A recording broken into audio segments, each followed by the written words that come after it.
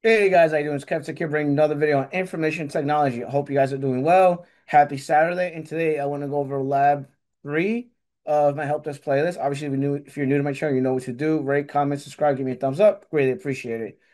So today's not going to be super long. It's going to be nice and short. So what we're going to do is we're going to open up our server 2022, which is what I'm doing right now. And I'm going to share my screen because you guys cannot see anything that I'm doing. So I'm going to do that real quick. And we're going to go over Active Directory a little bit, not too much. I'm not going to go crazy with Active Directory, but I just want to show you what it is and how it works and why we use it in a work environment. So just give that a second. It's trying to open. So we're going to do two things. We're going to install Guest Addition on this machine because I want to move some files around back and forth. I don't want to be trying to move a file and it doesn't let me do it, right? The only way to do it is by using Guest Addition on your virtual machine which is I'm going to show you how to do that real quick. It shouldn't be too bad. I'm just going to grab my headset over here and just put it over my head. All right, so let that let that do its thing. It should open. Remember, we installed Active Directory for Lab 2. If you guys don't haven't, you guys did not follow Lab 2 or you guys missed Lab 2, I'll leave the I'll leave the video below the description.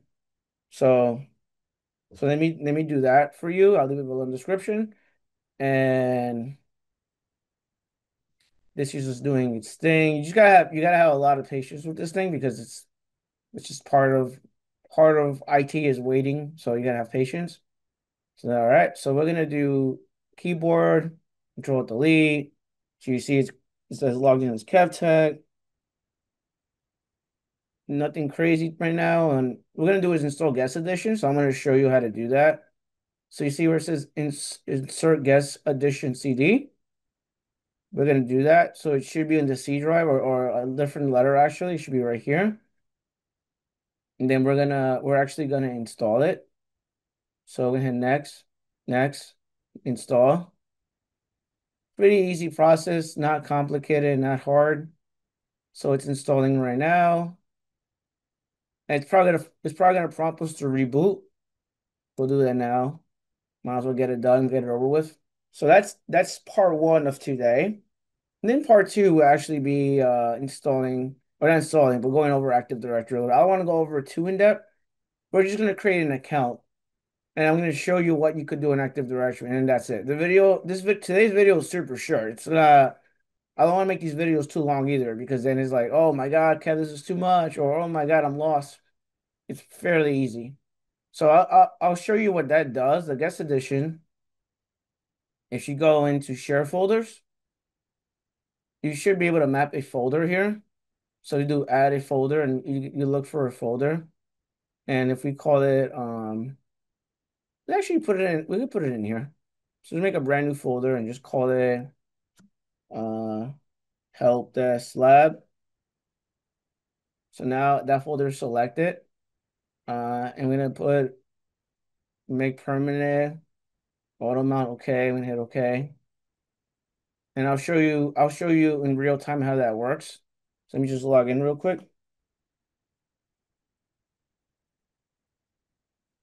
So if I if I go and download a file, which I'm over here in my downloads folder, I just want to show you something. I want to like show you everything on my screen. So I have, I have a bunch of stuff open here. So I'm just trying to look for a picture or something to show you on the screen. So uh, let's let's copy and paste my KevTech logo just to show you how that works. So I'm gonna do copy, and you see like I'm just gonna inject that, and you see here this is the help desk help desk lab folder I created. So if we go to users Kevin.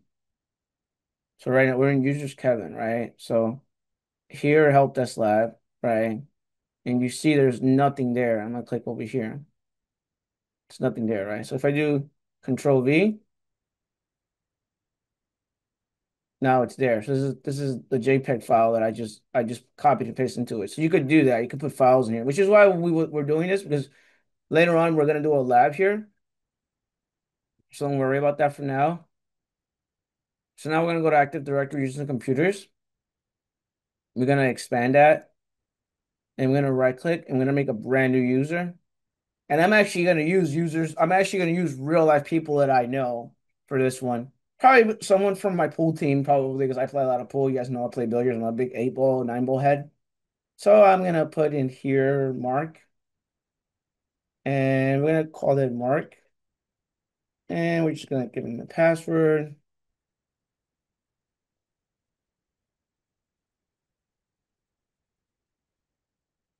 And then we're gonna just hit next and finish. So if you go to users, Mark should be there. He's right there. And for you guys that are brand new to IT, we will always be instructed to like create new hires, create user accounts. So it gets very granular because you sometimes you have to update their their address, their street, their zip code, where they live. Um, this guy is in the United States, so I'm just gonna put the United States. Um, and then you would have to actually go to their profile and you know just put their number in here, probably put their job department, title, company, who's who who they report to, things of that nature, right? And then if you ever want to reset their password, you just right click and do reset password. Just to reset the password. If you right click on him, you could disable the account. So it puts like it puts it with an arrow pointing down. That means it's disabled. You could right click it and enable it again. So that account is enabled. And if you double click on Mark, you also have the ability to actually unlock his account by here by clicking unlock account. And you have the capability of log on hours. So these are the hours that you you have you have him log in from Monday through Friday. If you want to be really messed up about it, you literally could just turn everything off and then they can't log in at all at all any time of the day or night or you give him certain sections to log in or certain days to log in that he's able to log in up to a certain amount of time. So again, that's entirely up to you. That's what that that's why this button here is available for. And then this is something else right here. And this is his profile, his profile path. You create a folder path for him if you like. Just general stuff. Um, and then like I always tell everyone, you want to check their account. You do net user mark slash domain. Um, if I could spell his name right. There we go. And you can see password set 830. Password expires 1011. Password is changeable 831. Tells you what groups they're part of, and that's it. So pretty easy stuff. Nothing complicated, nothing out of the ordinary. So for now, just create that account. And then we're going to create another account and we're gonna call it Kevin, which is me. All right. Just for now. Uh, let me go back because I spelled the name wrong. And and we're gonna just make a password for him as well. So we have two accounts we're gonna log into later in the labs. So we have Mark and Kevin, right? So that, that's all for today. I'm not gonna go crazy with it. So I showed you well you could do an Active Directory, nothing crazy. I'm gonna shut this down. I don't want to make this video too long. And I'm gonna stop sharing. Uh, and then that's it for me. Just simple stuff, user account creation, guest addition. That's all I need for you for now. Because then next week we're gonna use Windows 11 instead of Windows 11, and actually gonna do some stuff on Windows 11 with the with it joined to the domain and stuff like that. All right. With that being said, I hope you guys have a wonderful day and take care. Bye.